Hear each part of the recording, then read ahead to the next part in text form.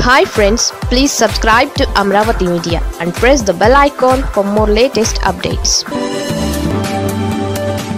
Pawan హిందుత్వవాదం work out అవుతుందా? యూపీలో ఒక యోగి ఉన్నారు. ఆయన పేరు అనూహ్యంగా రెండు వేల పదిహేడులో యూపీ సీఎంగా ప్రతిపాదిస్తే అంతా ఆశ్చర్యంగా చూశారు. ఆయన ఎవరు అని వాకప్ చేసేవారు ఉన్నారు. ఆయన అప్పటికి బీజేపీ ఎంపీగా పలుమార్లు గెలిచి ఉన్నారు. ఫక్త్ హిందుత్వవాది అయిన యోగిని పంపిస్తే కమల వికాసం అతిపెద్ద రాష్ట్రంలో సజావుగా సాగుతుందని భావించిన బీజేపీ తన ప్లాన్ని అలా అమలు చేసింది. దాంతో యోగి ఆదిత్యనాథ్ సీఎం అయ్యారు. ఆయనే తిరిగి రెండు వేల ఇరవై రెండులో బీజేపీని గెలిపించారు. అలా వరుసగా రెండుసార్లు యూపీలో పార్టీని గెలిపించి అప్పటికి మూడున్నర దశాబ్దాల క్రితం జరిగిన మ్యాజిక్ని రిపీట్ చేశారు.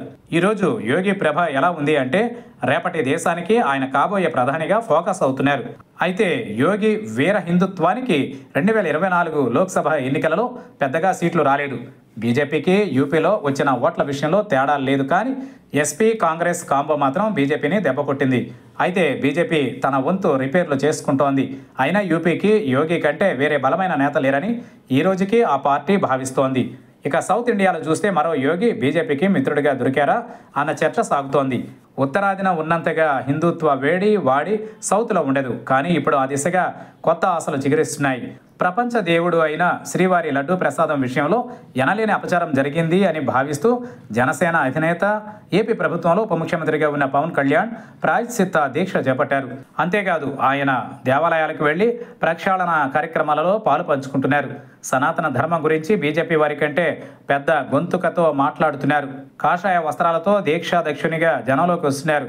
హిందూ మతం మీద జరుగుతున్న దాడులకు హిందువులంతా ఏకీకృతమై ఉద్యమించాలని పవన్ పిలుపునిస్తున్నారు సనాతన ధర్మ పరిరక్షణ విషయంలో తాను చనిపోయినా పర్వాలేదు అని కూడా పవన్ అంటున్నారు. పవన్లో ఇలా వీర హిందుత్వాన్ని చూస్తున్న బీజేపీ తమ కంటే పదాకులు ఎక్కువ చదివారనే భావిస్తున్నారు. బీజేపీకి సౌత్లో ఎక్కడ ఈ స్థాయిలో గ్లామర్ కలిగిన నేత లేరు.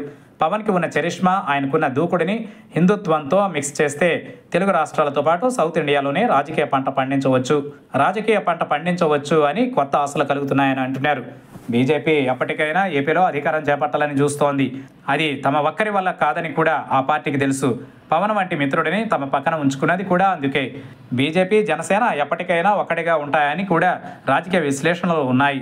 ఏపీలో బలమైన రాజకీయ భూమిక పోషించడానికి బీజేపీ జనసేన కూడా సమయం కోసం ఎదురు చూస్తున్నాయి ఇప్పుడు పవన్ హిందుత్వ నినాదం కూడా రేపటి రోజున ఇద్దరు మిత్రులకు పనికి వచ్చేదిగా ఉంటుందని అంటున్నారు.